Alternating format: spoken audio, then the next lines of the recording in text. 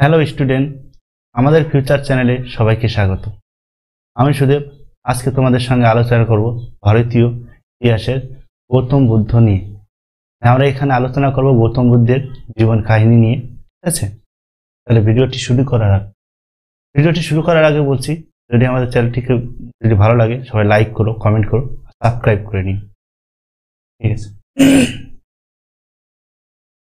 হচ্ছে আমরা কি প্রথম আজকে আলোচনা করব গৌতম বুদ্ধ সম্বন্ধে, ঠিক আছে? তাহলে আমরা প্রথমে জেনে নিব যে গৌতম বুদ্ধের জন্মস্থান। যে গৌতম বুদ্ধ পাঁচশো তেষট্টি ইসি মানে খ্রিস্টপূর্বাব্দে সে জন্মগ্রহণ করেন ঠিক আছে? পাঁচশো তেষট্টি খ্রিস্টাব্দে খ্রিস্টপূর্বাব্দে সে কি জন্মগ্রহণ করেন কোথায় করেন তার জন্মস্থানটি হচ্ছে নেপালের কপিলা বস্তুর লুম্বনী নামক উদ্যানে সে জন্মগ্রহণ করেন বৈশাখী পূর্ণিমাতে। তাহলে কি? আমরা দেখব যে সে জন্মস্থান কোথায় করে? নেপালের কপিলা বস্তুর লুম্বিনী নামক উদ্যানে বৈশাখী পূর্ণিমাতে জন্মগ্রহণ করেন। ঠিক আছে? আর তার উপাধিটা কি? আমরা দেখে নেব। গৌতম বুদ্ধকে লাইট অফ এশিয়া বলা হয়। মানে এশিয়ার আলো নামে তাকে জানা হয়। আমরা গৌতম যদি পরীক্ষায় অনেক সময় কোয়েশ্চেন হয় যে লাইট অফ এশিয়া কাকে বলা বা এশিয়ার আলো কাকে বলা হয়? তখন আমরা বলব কি? যে গৌতম বুদ্ধকে আমাদের এশিয়ার আলো বলা হয় বা লাইট অফ এশিয়া বলা হয়। ঠিক আছে? নেক্সট বলছে তার প্রকৃত নাম কি ছিল? রিয়েল নেম ঠিক আছে? তার প্রকৃত নাম ছিল সিদ্ধার্থ। তাহলে আমরা কি জানলাম? যে গৌতম বুদ্ধের প্রকৃত কি নাম ছিল কি? সিদ্ধার্থ। ঠিক আছে? তারপরে আসছি তার পিতা। তার পিতার নাম ছিলেন শুদ্ধধন। তাহলে গৌতম বুদ্ধের পিতার নাম কি ছিল? শুদ্ধধন। ঠিক আছে? তারপরে আসি যে গৌতম বুদ্ধের মাতা কে ছিলেন? গৌতম বুদ্ধের মাতা ছিলেন মহামায়া। তার মানে কি? যে তাকে জন্ম দিয়েছিল। তার হচ্ছে, তার মাতার নাম হচ্ছে কি? মহামায়া। কিন্তু এই মহামায়া প্রথম কি তার জন্ম দিয়ে সে মারা যায়। কিন্তু তাকে লালন পালন করে কে? তার বিমাতা। তার বিমাতার নাম হচ্ছে কি? গৌতমী। ঠিক আছে? যে মহামায়া তাকে জন্ম দেন, কিন্তু তার লালন পালন করে কে? তার বিমাতা গৌতমী। ঠিক আছে? এরপর আমরা দেখব যে তার স্ত্রী কে ছিলেন। তাহলে তার স্ত্রীর কি নাম ছিল? যশোধরা। ঠিক আছে? তাহলে গৌতম বুদ্ধের স্ত্রীর নাম কি ছিল? যশোধরা। এখানে একটা কনফিউশন আছে যে অনেক সময় অনেকে ভুল করে যে মহাবীর আর গৌতম বুদ্ধের স্ত্রী নিয়ে কনফিউশন হয়ে যায়। অনেকে মহাবীরের বউ ভাবে যশোধরা। আবার কেউ বলে যে গৌতম বুদ্ধের বইয়ের নাম হচ্ছে যশোদা, উল্টো পাল্টা হয়ে যায়। এটুকু খেয়াল রাখবার যে গৌতম বুদ্ধের স্ত্রীর নাম ছিল যশোধরা। এটা মনে রাখার একটা উপায় কি? যে প্রথমে দেখবে যে গৌতম বুদ্ধ, ঠিক আছে? ছোট নাম বড় বউ, ঠিক আছে? তার স্ত্রী। স্ত্রীর নামটা বড় দিয়ে তার যে, তার স্বামীর নামটা হচ্ছে ছোট দিয়ে এটুকু জিনিসটা রাখবে। গৌতম, তার স্ত্রীর নাম হচ্ছে যশোধরা। আর মহাবীরের ক্ষেত্রে কি? মহাবীর চারটা অক্ষরের নাম, কিন্তু তার স্ত্রীর নাম হচ্ছে যশোধা। ঠিক আছে? এটুকু একটু খেয়াল রাখবে। ঠিক আছে? তাহলে আমরা কি জানি গৌতম বুদ্ধের স্ত্রী কে ছিল? যশোধরা। ঠিক আছে? তার পুত্র কে ছিল? তার পুত্রের নাম ছিল হচ্ছে রাহুল। তাহলে আমরা গৌতম বুদ্ধের পুত্র কে ছিল? আমরা জানব সে হচ্ছে রাহুল। এরপরে আসছি যে ঘোড়া। তার যে গৌতম বুদ্ধের ঘোড়ার নাম কি ছিল? এটা হচ্ছে কণ্টক তাহলে পরীক্ষার সময় অনেক সময় কোয়েশ্চেন আসে, অনেকবার বিসিএস এ কোশ্চেন এসে যে গৌতম বুদ্ধের ঘোড়ার নাম কি? তখন আমরা কি বলব সেটাকে? কণ্টক ঠিক আছে? এরপর আসছি যে যে ঘোড়াটা ছিল সেই ঘোড়ার চালক মানে হচ্ছে রাইডারটা কে ছিল? তাহলে গৌতম বুদ্ধের যে ঘোড়ার চালক বা রাইডারটা কে ছিল আমরা সেটা জানব হচ্ছে, সেটা হচ্ছে চান্না। চান্নাবাসক চান্না, ঠিক আছে? বা চাণ্ডক অনেক কিছু বলা হয়। এটা আমরা মনে রাখতে হবে সেই গৌতম বুদ্ধের ঘোড়ার চালকের নাম কি ছিল? চান্না। এটা পিসিএস অনেকবার কোয়েশ্চেন এসছে। নোট করে রেখো। তাহলে আমরা কি জানলাম যে গৌতম বুদ্ধের ঘোড়ার চালকের নাম হচ্ছে চান্না, ঠিক আছে? এরপরে আসছি আমরা হচ্ছে তার শিক্ষাগুরু। তাহলে গৌতম বুদ্ধের শিক্ষাগুরু কে ছিলেন? আমরা সেটা দেখি গৌতম বুদ্ধের শিক্ষাগুরু ছিলেন হচ্ছে আলারা কামা, ঠিক আছে? গৌতম বুদ্ধের শিক্ষাগুরুর নাম কি ছিল? আলারা কামা ঠিক আছে? তাহলে আমরা এর আগে যে দেখলাম, এবার আমরা দেখব হচ্ছে গৌতম বুদ্ধের চারটি দৃষ্টি আকর্ষণীয় বস্তু। এই চারটি দৃষ্টি আকর্ষণীয় বস্তু হচ্ছে আমরা কি দেখব? প্রথম, যে ফোর ইম্পর্টেন্ট সাইট এই গৌতম বুদ্ধের চারটি দৃষ্টি আকর্ষণ করেছিল সেই বস্তুটি হচ্ছে ফার্স্ট হচ্ছে আমাদের কি? একজন বৃদ্ধ মানুষ। হ্যাঁ? ফার্স্ট একজন কি ছিল? গৌতম বুদ্ধের দৃষ্টি আকর্ষণ করেছিল ফার্স্ট হচ্ছে বৃদ্ধ মানুষ। সেকেন্ডটা কি হচ্ছে? সেকেন্ডটা হচ্ছে একজন অসুস্থ ব্যক্তি। তাহলে দ্বিতীয় দৃষ্টি আকর্ষণীয় বস্তু কি ছিল তার কাছে? একজন অসুস্থ ব্যক্তি। থার্ড কি ছিল একজন? একজন মৃত ব্যক্তি। তার গৌতম বুদ্ধের তৃতীয় দৃষ্টি আকর্ষণ বস্তু কি ছিল? একজন মৃত ব্যক্তি। আর চতুর্থ যে দৃষ্টি আকর্ষণীয় বস্তু ছিল, সেটা হচ্ছে কি? একজন সন্ন্যাস। ঠিক আছে? এই একটু কাহিনীটা বলতে গেলে একটু একটু কাহিনী গৌতম বুদ্ধ একটু কাহিনীতে আসতে হয়, ঠিক আছে? এটা হচ্ছে কি? যে গৌতম বুদ্ধ ছিল এক, তার বাবা নাম হচ্ছে শুদ্ধোদন সে এক জায়গাকার রাজা ছিলেন, ঠিক আছে? যখন গৌতম বুদ্ধ জন্মগ্রহণ করেন, তখন সেখান, তার রাজসভার যে সন্ন্যাসীরা ছিল, তারা সে জ্যোতিষী বিদ্যার মাধ্যমে সে তারা বলেছিল যে, ঠিক আছে, আপনার ছেলে একদিন বড় হয়ে বড় একটা সন্ন্যাস হবে, ঠিক আছে? ঠিক আছে, কিন্তু সে সংসার ধর্ম ত্যাগ করে, সে ত্যাগ করবে, এ তারা সে কি করবে? সে রাজ্যের রাজ্যভার নিবে না। সে একজন মহান ব্যক্তি হবে। তখন কি করল রাজা শুদ্ধদান? সে একটু সমস্যা করে গেল যে, আমার ছেলে রাজা না হয় কি করবে? সে সে সন্ন্যাস গ্রহণ করবে? বা একটা মহান ব্যক্তি হবে। তখন সে কি করল? যে তার ছেলেকে বিভিন্ন জ্যোতিষীরা চারটা দিকের কথা বলেছিল যে, তার কাছে যে সে যেন কোনো মায়ের বাঁধরে না পড়ে যায়, তার জন্য কি করেছিল? এই চারটি এই চারজনের শরণাপন্ন হতে তাকে বারণ করেছিল। ঠিক আছে? একজন বৃদ্ধ মানুষ, অসুস্থ ব্যক্তি, মৃত ব্যক্তি ও সন্ন্যাস। এই চারজনের শরণাপন্ন যদি হয়, তাহলে তার মনের পরিবর্তন ঘটবে আর সে কি করবে? এখানে সেই মোহমায়া করে ঘর ত্যাগ করবে এবং সে সন্ন্যাস গ্রহণ করতে বাধ্য হবে। ঠিক আছে? তখন সে বলল, সেই বলাতে কি হলো? সে কি হলো? একটু সমস্যায় পড়ে গেল। এখন কি করা যায়? তখন তাকে বিভিন্ন সময় বিভিন্ন গার্ডে রাখা হতো। ঠিক আছে? তখন তার রাজসভায় বৃদ্ধ মানুষ, অসুস্থ ব্যক্তি, মৃত ব্যক্তি এবং সন্ন্যাসদের তার সামনে আসতে দেওয়া হতো না। কিন্তু কি? মানে বিধির লেখন যেটা হওয়ার সেটাই হবে। কিন্তু একদিন কি হলো যে আমরা ঘোড়ার রাইডারটা করলাম চান্না বাসকের সঙ্গে, সে কি করে? বন ভ্রমণে চলে যায়। তখন বন ভ্রমণে যাওয়ার সময় তখন প্রথম তার দৃষ্টি আকর্ষণ করে একজন বৃদ্ধ ব্যক্তি বৃদ্ধ ব্যক্তি মানুষ। তখন সে চান্না বাসককে জিজ্ঞাসা করে যে, কি ব্যাপার?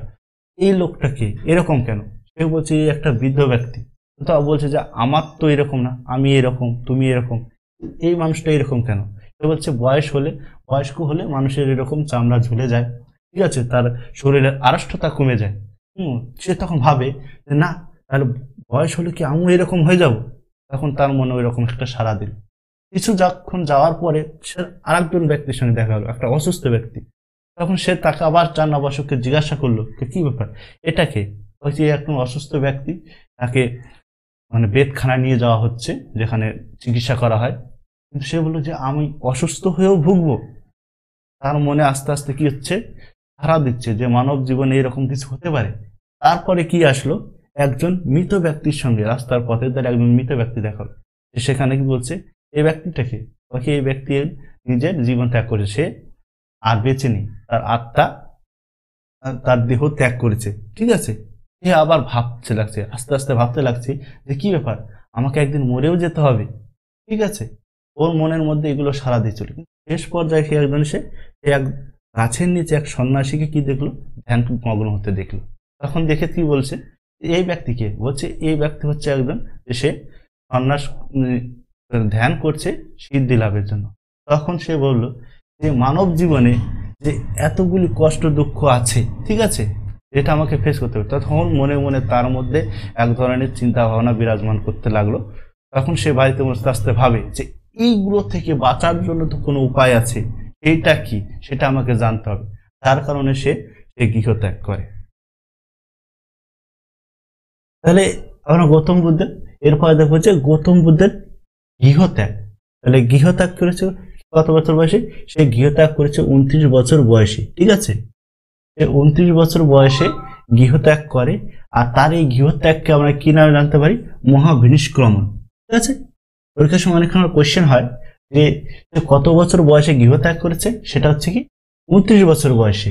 আর কি, তার গৃহত্যাগ কি নামে জানা হয়? সেটা হচ্ছে কি, মহাবিনিষ্ক্রমণ নামে জানা হয় গৌতম বুদ্ধের গৃহত্যাগকে। ঠিক আছে?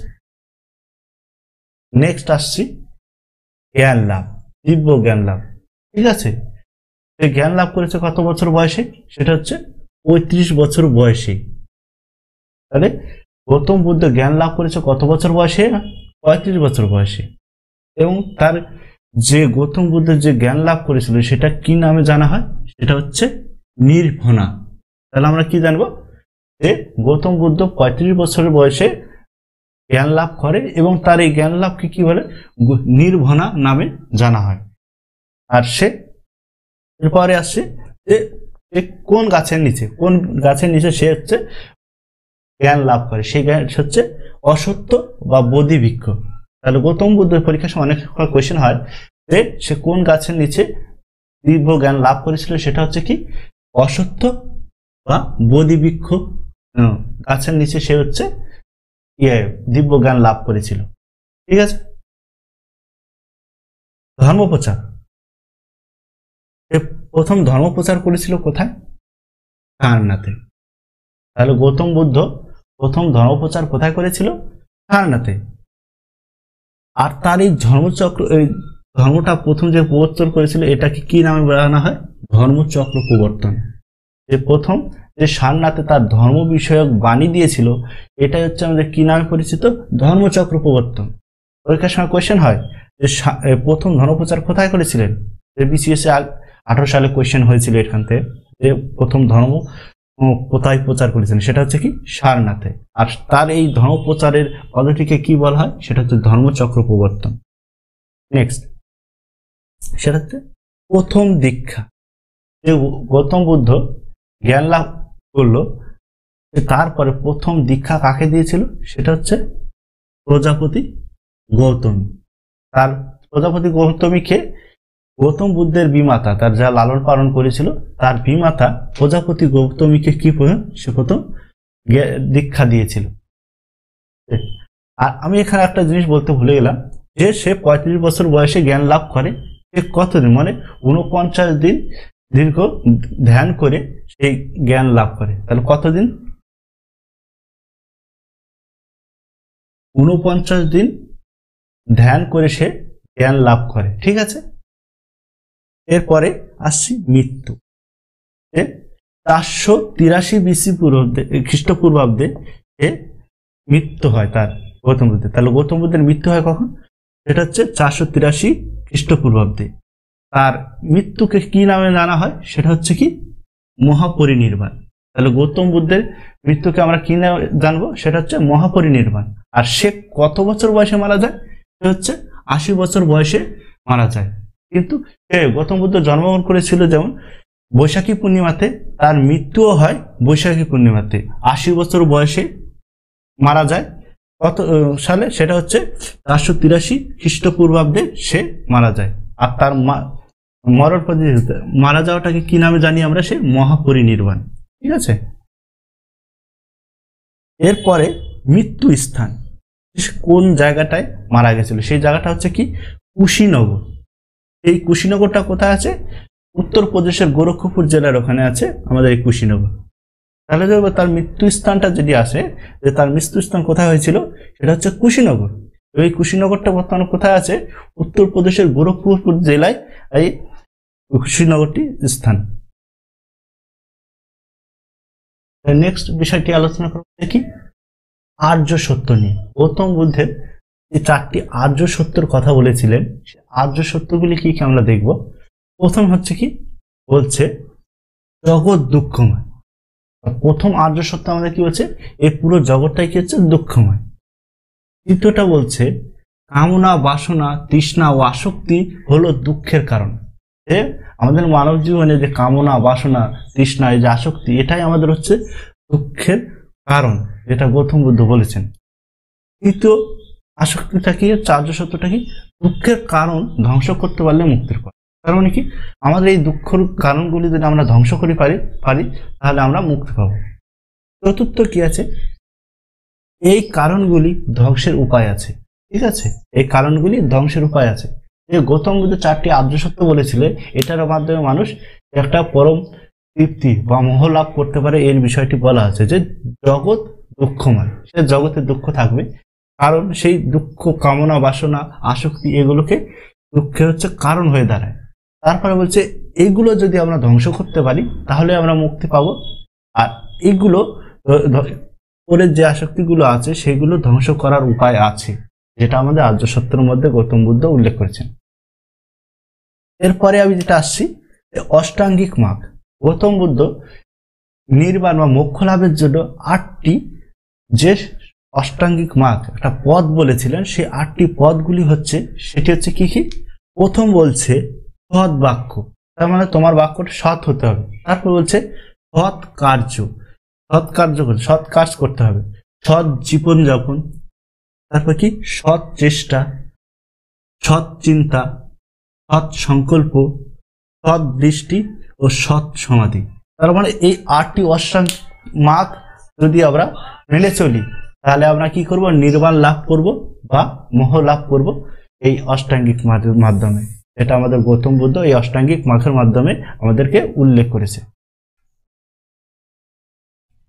তাহলে এরপরে আমরা যেটা আলোচনা করব সেটা হচ্ছে গৌতম বুদ্ধের ধর্মের, বৌদ্ধ ধর্মের কিছু বৈশিষ্ট্য।